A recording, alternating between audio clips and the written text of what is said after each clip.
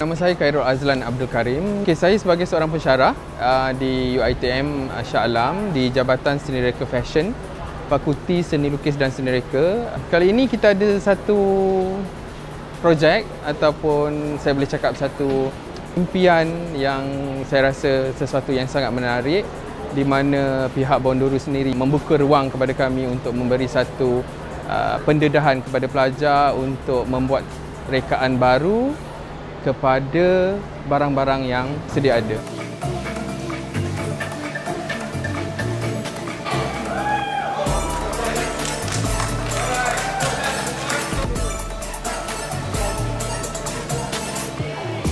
You know, you know, we coming for the Malaysia to doing the used clothing business.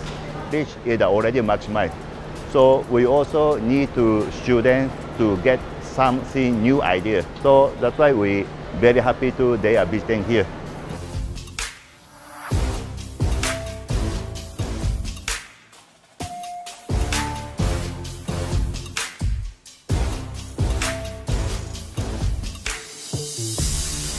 kebaikan yang kita dapat adalah kita dapat menjaga uh, persekitaran uh, dari segi bahan material yang kita pakai. Hal ini kerana uh, dalam fashion industry dia berkembang sangat sangat cepat dan kita telah telah membekalkan banyak sangat pembaziran dalam industri fashion ni.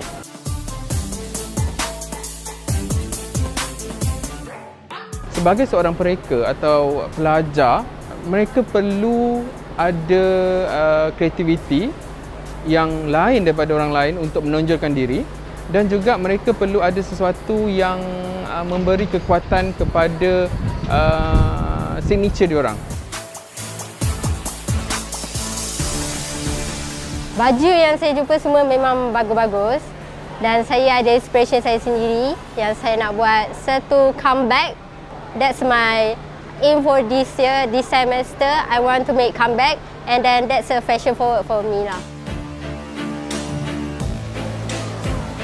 this kind of, of the clothing, we don't want to be wasted. So I need uh, the student idea to reform to something uh, new style of the garment.